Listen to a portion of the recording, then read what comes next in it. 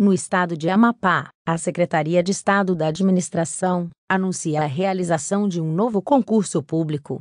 A instituição tem como objetivo o preenchimento de 430 vagas para formação de cadastro reserva, para ingresso no quadro de pessoal da Polícia Científica do Estado. As inscrições podem ser realizadas por meio do site da organizadora o período de inscrições será de 16 de setembro de 2022 até o dia 4 de outubro de 2022. O valor da taxa de inscrição varia de 80 reais a 160 reais.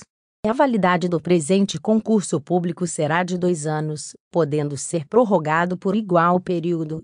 Acesse nossa loja virtual através do link na descrição para ter acesso ao edital completo e material para todos os cargos deste concurso.